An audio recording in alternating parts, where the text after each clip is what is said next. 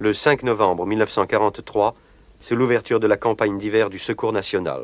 Français, à l'approche des hivers 41 et 42, j'avais fait appel à votre générosité. Vous avez répondu magnifiquement.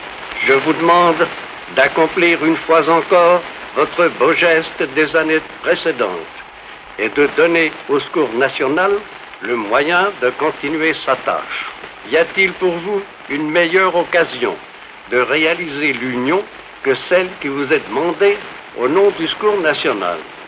Je m'adresse surtout à ceux qui sont le moins éprouvés, qu'ils sachent bien qu'aucune situation personnelle n'est assurée dans un pays bouleversé par la misère si l'on ne vient à son secours.